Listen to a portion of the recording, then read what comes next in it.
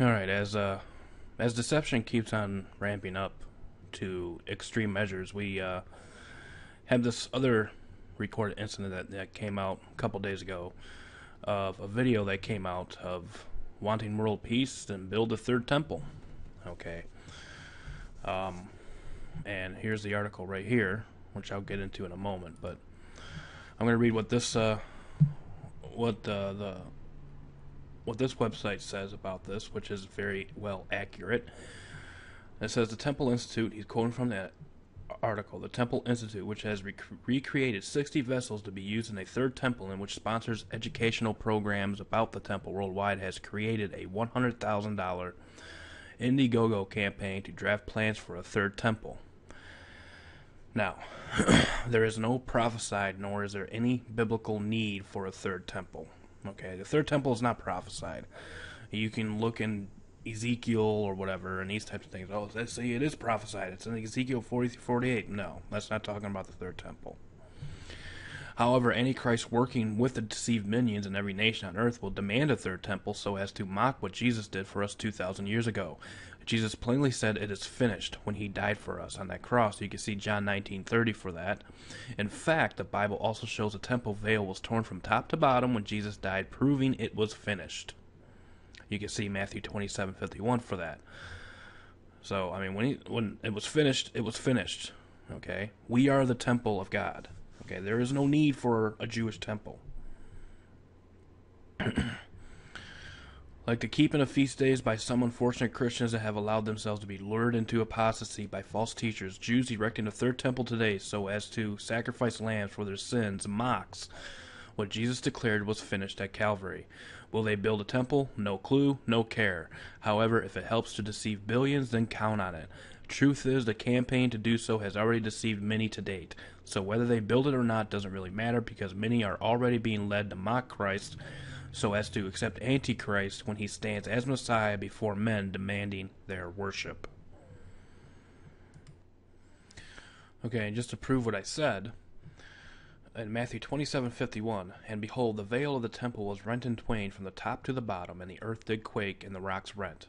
So the veil, the curtain of the temple, is rent in twain. So now everyone had access to the holy of holies, the most holy place upon the death of Jesus Christ when he became that perfect sacrifice. And in John 19:30 it says when Jesus therefore had received the vinegar he said it is finished. And he bowed his head and gave up the ghost. Okay?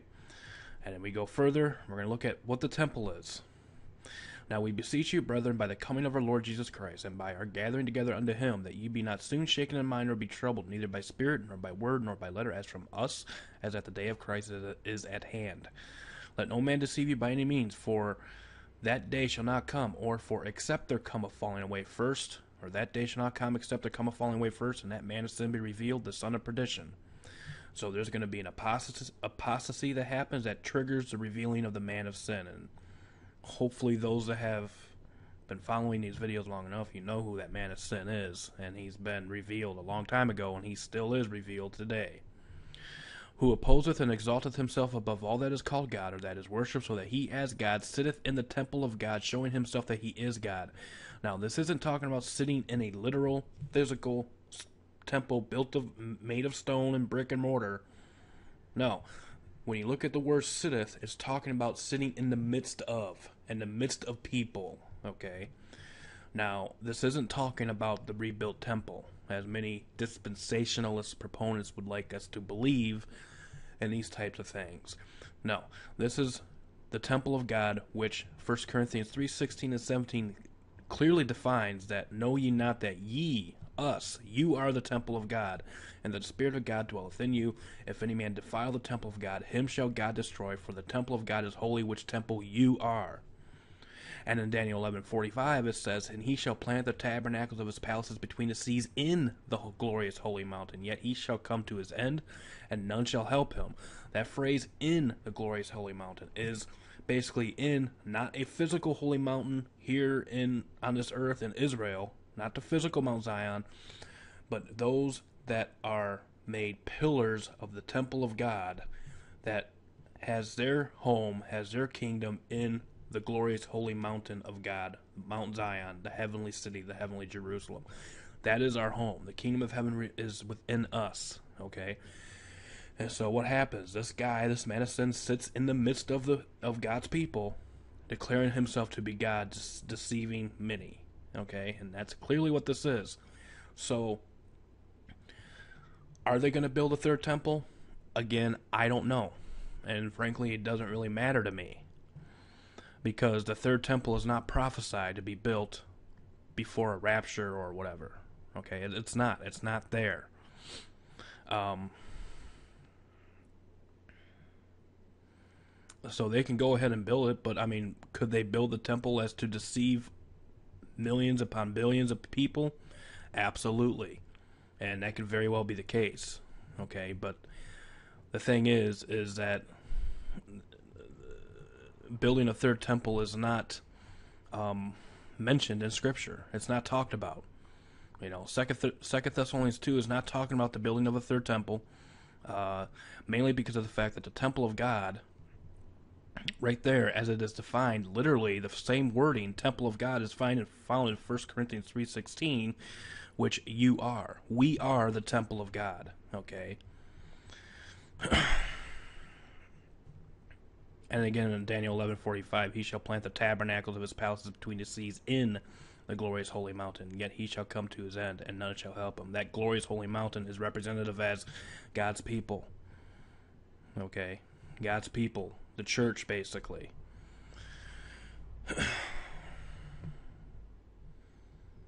now, do we have someone that's doing this right now as we speak? Well, let's have a look real quick before we play the video from Temple Institute. Okay, so real quick, I want to bring your attention to this article right here out of the uh, Independent. it says Pope Francis issues top 10 tips for happiness. And um, scroll down a little bit right here. I want to bring your attention to this phrase here. These two paragraphs. Highlights include a call to families to turn off the TVs when they sit down to eat because even though television is useful for keeping up with the news, having it on during meal times doesn't let you communicate with each other, according to a Catholic News Service translation of the interviews. Sounds good, right? Well, when you look at this next paragraph here, it says, And Francis said people will also be much happier when they stop trying too hard to bring others around to their way of thinking, including on religion. He said the church grows by attraction, not proselytizing, and added that the best way to get through to anyone was with dialogue, starting with his or her own identity. Now, the Pope also basically um, gave us uh, 10 tips for a happier life. And before I get into two of the tips, I want to bring your attention to this right here. Okay. The 1828 Webster's Dictionary defines proselytizing as the making of converts to a religion or religious sect or to any opinion, system, or party. They are possessed with a spirit of proselytism in the most fanatical degree, or it's a conversion to a system or creed. So, in other words, we don't need we can't we shouldn't be converting people we shouldn't be evangelizing or spreading the gospel the true gospel of the kingdom of jesus christ we shouldn't be um, spreading the message of the gospel the message of salvation of jesus christ we shouldn't be doing that according to the pope okay and you see why a lot of people flock to this man atheists homosexuals and these types of things because hey you know, all are welcome. Okay, the church grows by attraction, not proselytizing. And you see everybody wandering after this guy because of his views on this whole ecumenical soup that he's promoting. Okay, and so let's go ahead and look at these tips here. Well, let's look at number five first. number five says Sundays should be holidays.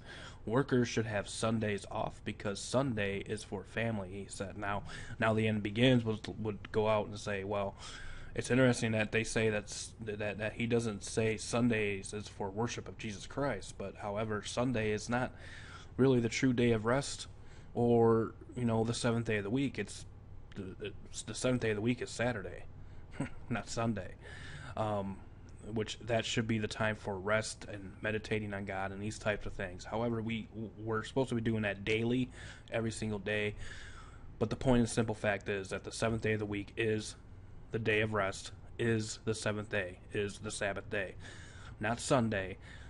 So Sundays, you know, and he goes on to say Sundays should be holidays. Workers should have Sundays off. He's not. Now notice he's not just including religious worship here.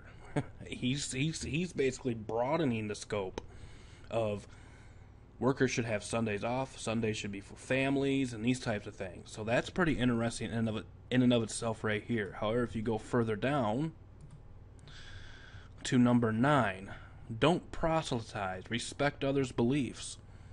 Now, I have no problem what you believe or what religion you believe, but I am not inclined to um, commit myself to another religion that doesn't, you know, which doesn't acknowledge the only way to the Father is through the Son.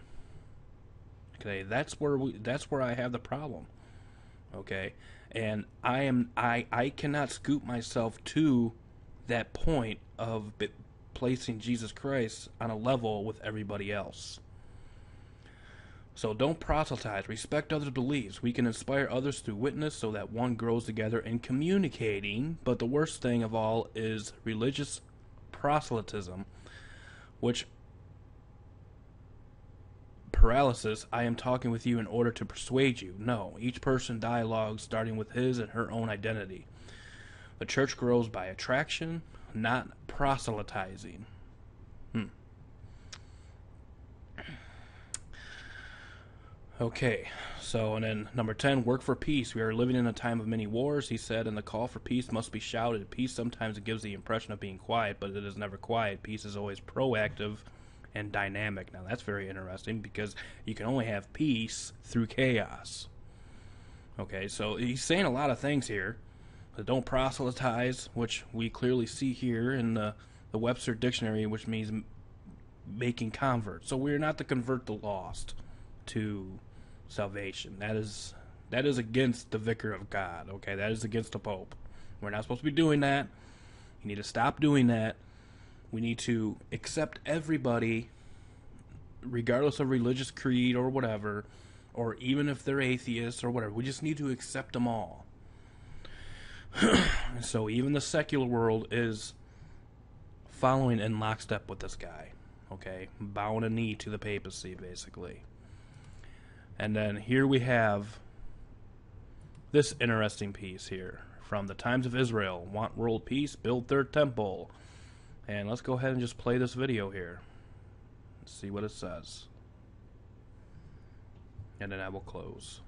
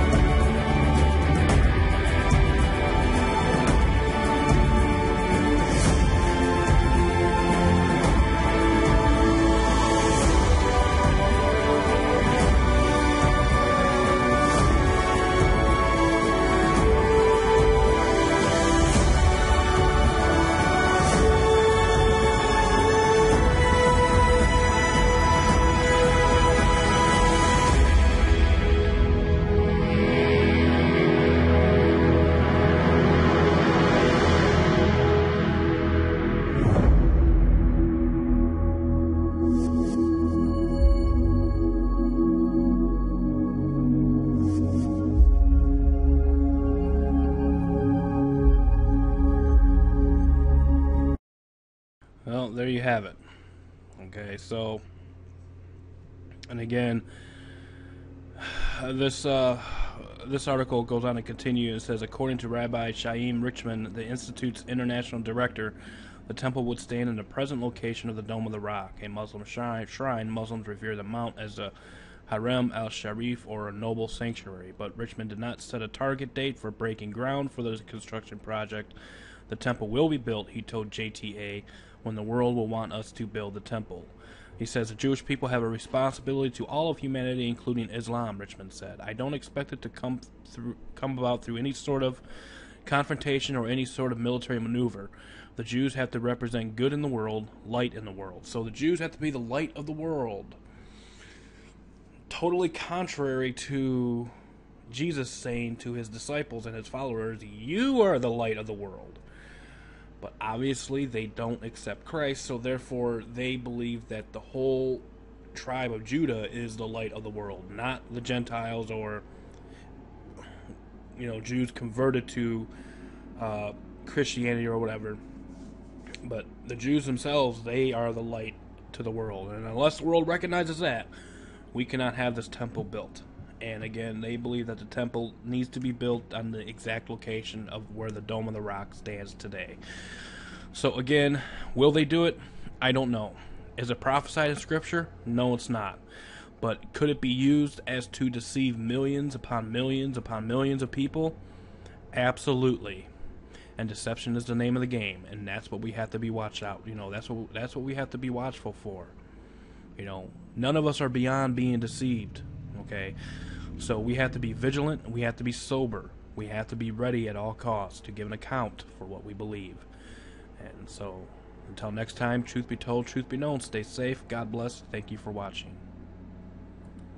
Cross, you can see John 19:30 for that. In fact, the Bible also shows the temple veil was torn from top to bottom when Jesus died, proving it was finished. You can see Matthew 27:51 for that. So, I mean, when he, when it was finished, it was finished. Okay? We are the temple of God. Okay? There is no need for a Jewish temple. like the keeping of feast days by some unfortunate Christians that have allowed themselves to be lured into apostasy by false teachers, Jews erecting a third temple today so as to sacrifice lambs for their sins mocks what Jesus declared was finished at Calvary. Will they build a temple? No clue, no care. However, if it helps to deceive billions, then count on it. Truth is, the campaign to do so has already deceived many to date. So whether they build it or not doesn't really matter because many are already being led to mock Christ so as to accept Antichrist. What the, the what this website says about this, which is very well accurate.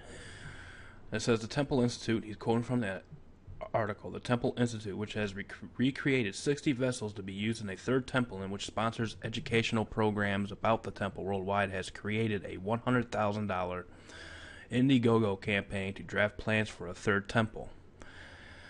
Now, there is no prophesied, nor is there any biblical need for a third temple. Okay, the third temple is not prophesied. You can look in Ezekiel or whatever and these types of things. Oh, let's see, it is prophesied. It's in Ezekiel 40 through 48. No, that's not talking about the third temple. However, Antichrist working with the deceived minions in every nation on earth will demand a third temple so as to mock what Jesus did for us 2,000 years ago. Jesus plainly said it is finished when he died for us on that. All right, as uh, as deception keeps on ramping up to extreme measures, we uh, have this other recorded incident that, that came out a couple days ago of a video that came out of wanting world peace and build a third temple. Okay. Um, and here's the article right here, which I'll get into in a moment. But I'm going to read what this uh,